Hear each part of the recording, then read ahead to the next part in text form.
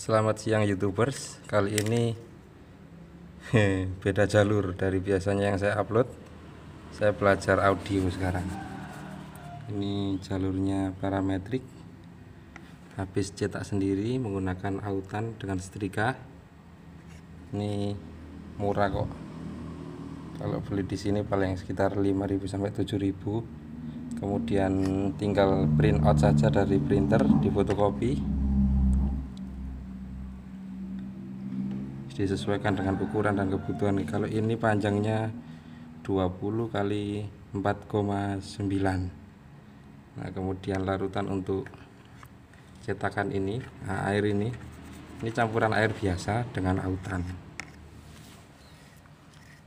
kemudian kalau misalkan samen mau melihat cara cetakan cara mencetaknya banyak di channel YouTube lain nah ini saya tunjukkan jadinya saja sampai nanti proses pemasangan komponen di PCB ini parametrik ini. Nah sekarang adalah proses melarutkan PCB di ferrit klorida untuk perbandingan air dengan ferritnya ya bisa dikira-kira sendiri. Lebih banyak lebih bagus yang penting gambarnya tidak ada yang terpotong jelas seperti ini. Sampai berapa lama? Ya sampai bersih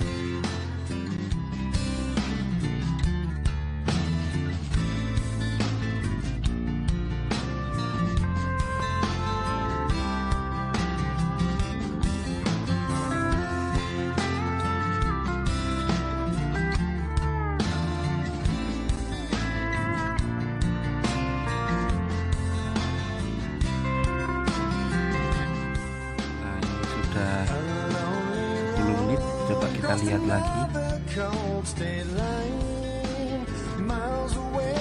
Bersih tapi tidak secepat yang kita kira. Ternyata 10 menit ini masih ada sisa-sisa sedikit. Mungkin butuh kesabaran atau feritnya yang kurang ya tidak tahu.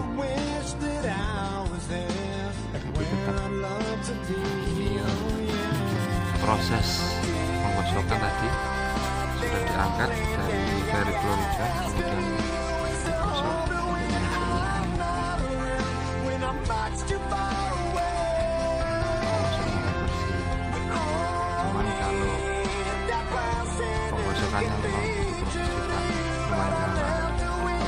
pakai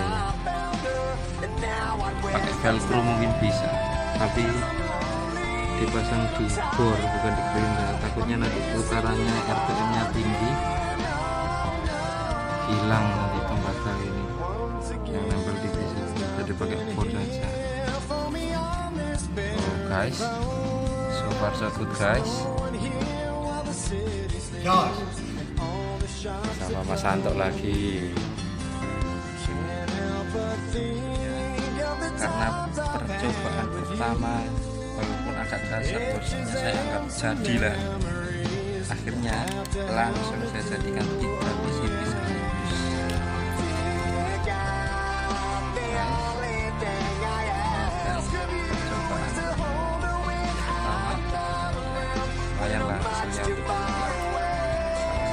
belajar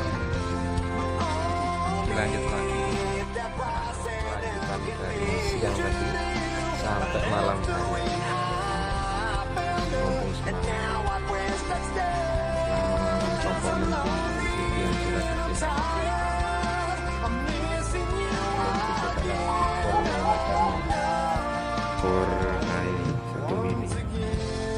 mumpung karena bor tangannya tadi kehabisan ya pakai bor ini kalau yang penting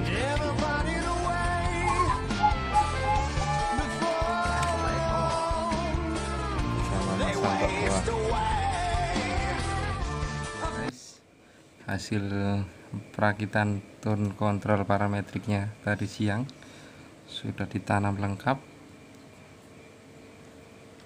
Nah, Nah, agak tebal saudarane karena saya gak mahir juga. Tapi yang penting suara guys. Untuk suara tenang ditunggu saja nanti pasti ada video selanjutnya. Hmm, cocok guys. Tetap bersama Mas Antok doang. Nah ini Mas Antok.